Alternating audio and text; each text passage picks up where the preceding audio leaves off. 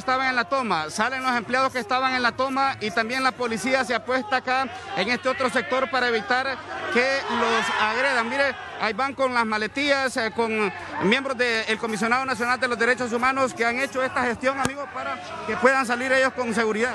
Sobre todo es para la integridad física de ellos, porque ya lo demás ellos tienen que pues irlo resolviendo conforme a derecho.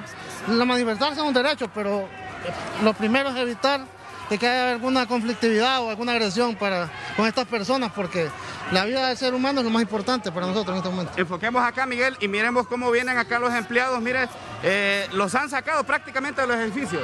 Eh, vamos a reunirnos para tomar las cosas más con calma porque nosotros, nosotros estamos en una forma de pelear de derechos.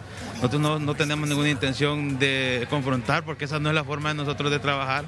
Nosotros ya lo sabemos que el tema de ellos es ese, porque si desde luego ellos nosotros entienden que estamos peleando un derecho, eh, eh, la ministra en vez de tomar acciones de platicar con nosotros, llegar a un acuerdo, manda para el fuego con el fuego.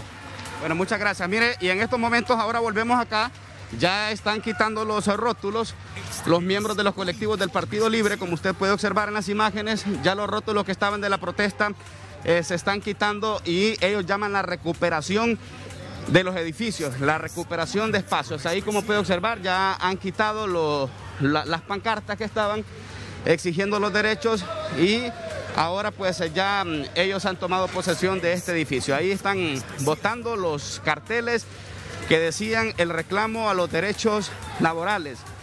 Los derechos laborales y ya las personas que estaban protestando en este edificio lo han abandonado gracias a la intervención del Comisionado Nacional de los Derechos Humanos y ya pues eh, no hay personas protestando en este edificio que estaba tomado y las pancartas han sido quitadas. Así las cosas desde el Centro Cívico Gubernamental a esta hora de la mañana, compañeros. Alex, Alex y Cecia en pantalla, mire, ¿qué hubiese pasado si nosotros no hacemos esta denuncia primero?